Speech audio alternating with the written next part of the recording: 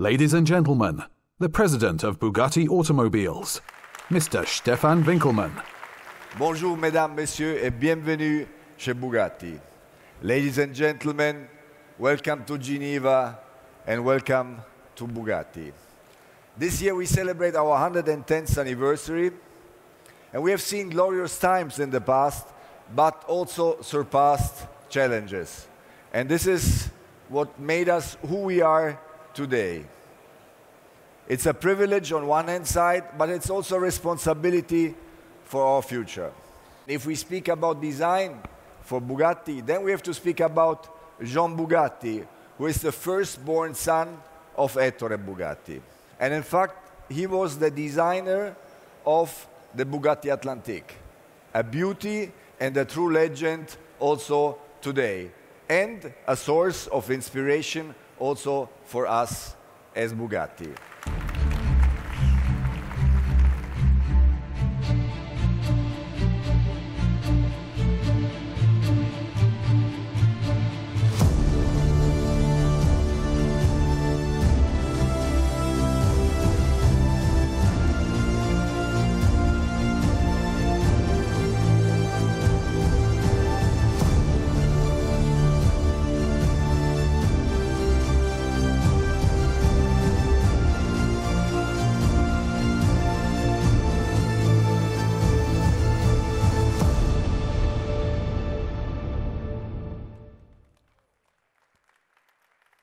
La Voiture Noire is more than the celebration of our 110th anniversary, and it's also more than a modern interpretation of the Bugatti Atlantique.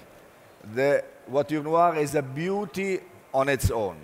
It's a car which we love from the first sight, and we call it the ultimate Gran Turismo. And if we look at the design, it's from stunning proportions. It's uh, elegant and puristic at the same time. And if you look at the bodywork, there's not one line too many. La Voiture Noire is a one of one. It's uh, automotive haute couture at its best. And for us, it's the pinnacle of our product portfolio. And uh, when uh, we uh, first presented the car, it was immediately sold for a price of 16.7 million euro. And then we have another world premiere here on my left hand side, which uh, is to celebrate the 110th anniversary. It's the Chiron Sport 110 ans Bugatti. We are going to build the car only 20 times. And to underline, let's say, our French heritage, we have tricolores on the outside and the interior. And we also created a special color we call matte steel blue. All the 20 units, luckily, are already sold, and this is very good news for us in Bugatti. Meanwhile, we will continue to work hard on the future of this company and the brand.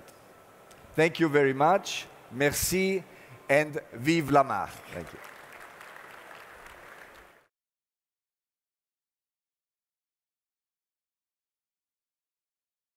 So it's about cruising, really to enjoy the ride and uh, also to enjoy the looks from the people which are uh, yeah, seeing you passing by. Jean Bugatti was ahead of his time, he was a visionary. And uh, when we did the Veyron at the beginning of this millennium, it was really a car which was setting the pace, and still it is. And with the Chiron, we made the perfect car even better. So we have an engine which is, let's say, the USP of our, of our brand today with an 8 liter capacity and 16 cylinder and 1500 horsepower, which is unsurpassed in uh, the automotive industry. We have uh, customers constantly asking for more. We are a small company, few people, so we have to concentrate on the basics. But uh, if we have the opportunity, we could do much more. We are going to do events, yes, for our customers, but also for the uh, Bugatti enthusiasts. And I will give you one example. We will do a Grand Tour at the beginning of September, starting from Milan, where Ettore Bugatti was born, going down to Monte Carlo, to Lyon, Paris, and then uh, uh, to our hometown Molsheim. So this will be a, a, big tour for our customers, but it will also be an opportunity for the enthusiasts to come to see us in Molsheim.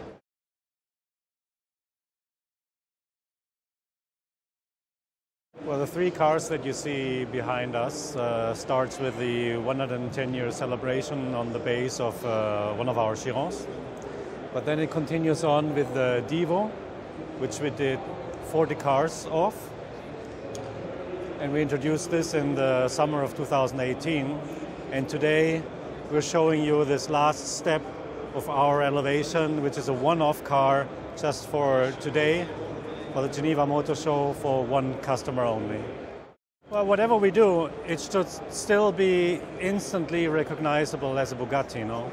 And if you ask me what are some basic characteristic elements, then it's obviously the horseshoe grille that you see in the front, the strong centerline accentuation, and the Bugatti line that is visible from the side.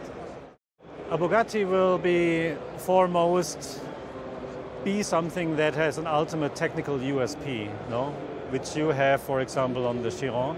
It is this power plant and the drivetrain that really separates this car in its segment from all other competitors. Complemented with that is obviously a, a stylistic evolution that is based on that technical development. It's our design philosophy that form follows performance, and whatever is happening technically on the car, you should be able to see that on the outside and that the outside styling approach fits to the technical engineering approach. It's probably the most special project that I've ever worked on, to be honest. Uh, it has been, as an idea, laying in our drawers then, since more than 10 years. But now was the possibility to activate that idea, uh, to celebrate 110 years of Bugatti, and then eventually also then finding the right customer that also had a liking to La Voiture Noire, to the Atlantics in general, and to that special Atlantic that was lost uh, during the Second World War. That created a very special story, and that was very dear to our heart to make something out of that story. And therefore, you have it sitting here today as a modern interpretation of exactly that car. We had in mind to create something else than the Divo is offering. The Divo offers lateral performance, more downforce, better road holding, more camber angles. This car is offering a Gran Turismo experience. You're supposed to take this car in all elegance and style and travel over the mountain passes and arrive down there in the seaside. The grand voyage, so to say, is the purpose of this car. Well, it's again this aspect of not being trapped into a retro idea. Whenever we do something, even if it's a, a quote or a reminiscence to a classic car, we should really look forward in our technology that is available to us today or even uh, tomorrow. That's how Jean Bugatti would see it as well. If he would be still around, having a chance to recreate La Voiture Noire for himself, he would obviously do that with modern day technology and come to an interpretation with the genes of the heritage and of the original car for sure, but looking forward instead of looking back.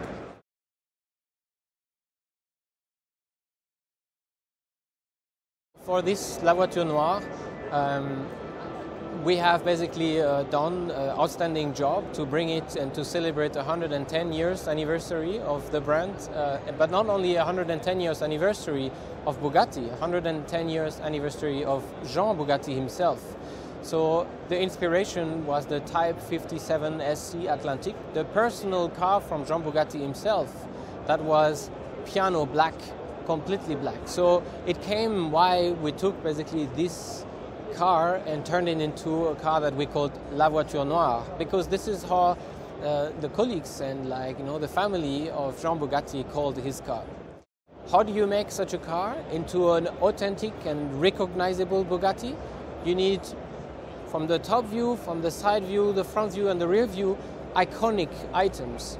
And out of those iconic items, you obviously have from the side view the signature line, which on a Bugatti Chiron, this is a much more gentle and much rounder, but this is making the car look thinner, the signature line go from the front, middle of the windscreen, all the way to the side and all the way to the horseshoe. It's strengthened the car, it makes it completely more elegant, makes it more elongated front fenders. So this is regarding the side. If we are moving to the front, we obviously have the iconic horseshoe, which defines what you have in your rearview mirror as being coming as being unmistakable a Bugatti. When we are here in the front, obviously, when we're talking about uh, inspiration from a Type 57 SC Atlantic, we have this centerline accentuation. This is not anymore only a little crystalline on the bonnet. This is an aluminium inlays inside the carbon, which basically uh, uh, mimics this uh, riveted centerline that you have on the Atlantic.